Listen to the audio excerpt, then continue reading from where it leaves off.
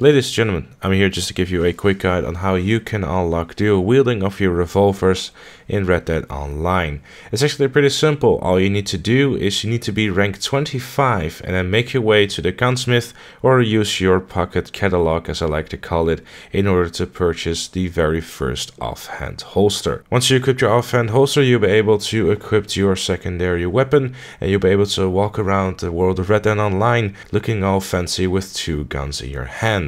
Obviously, it's working the same way as in single player, so if you ever manage to get yourself a sawn-off shotgun, you're more than welcome to use that one as well. And apart from having the cough up $8.50, that is kind of it really. So if you found this video useful, make sure to leave it a like, subscribe for much more Red Dead Online content come to you very soon, and I'll see you all later.